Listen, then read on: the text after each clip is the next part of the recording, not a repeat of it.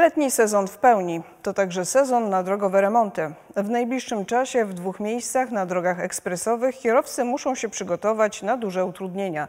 W Katowicach będą zmiany związane z wyburzeniem wiaduktów nad drogą S86, a na węźle S1 wykonawca zaczyna kłaść asfalt. Łukasz Kądziołka.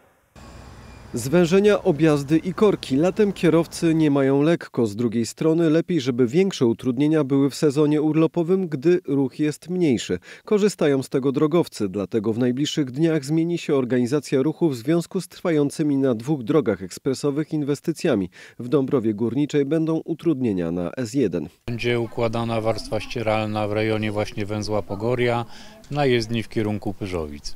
W tym czasie nie będzie można wjechać e, z tej trasy na ulicę Armii Krajowej, natomiast zjazd z ulicy Świętego Antoniego będzie możliwy tylko w prawo, czyli w kierunku Sosnowca. E, Możliwy będzie też zjazd w tym czasie z ulicy Armii Krajowej na trasę S1 w kierunku Pyżowic. To przez dwa dni od 19 do 21 sierpnia. Następnie w ciągu dwóch kolejnych dni 22 i 23 sierpnia wykonawca zacznie kłaść asfalt na drugiej jezdni, więc cały ruch zostanie przekierowany na tę już gotową. W tym czasie kierowcy nie wjadą w ulicę Armii Krajowej i ulicę Świętego Antoniego. W Dąbrowie Górniczej inwestycja Generalnej Dyrekcji Dróg Krajowych i Autostrad jest już na zaawansowanym etapie. Z kolei na S86 dopiero zacznie się najgorsze dla kierowców. Będą tu rozbierane wiadukty w pobliżu sklepu IKEA. Na razie zmiany czekają jednak głównie mieszkańców, którzy poruszają się górą wiaduktu w ciągu ulicy Bohaterów Monte Cassino. Zmiany organizacji ruchu rozpoczniemy w godzinach nocnych 17 sierpnia, tak aby mogła ona obowiązywać już od godzin porannych następnego dnia. W pierwszej kolejności zamknięcie dotyczyć będzie pojazdów ko- kołowych.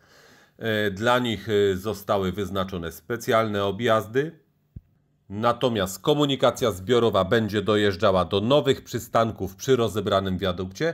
Jeszcze do końca sierpnia piesi będą mogli przechodzić nad S86 wiaduktem, ale później zacznie się już wyburzanie i trzeba będzie przenieść się na kładkę. Inwestycja w Katowicach potrwa jeszcze długo, bo nowy obiekt nad Aleją Rozdzieńskiego ma być gotowy pod koniec przyszłego roku. Z kolei w Dąbrowie trzeba będzie poczekać jeszcze kilka miesięcy na to, żeby po S1 jeździło się jak po ekspresówce.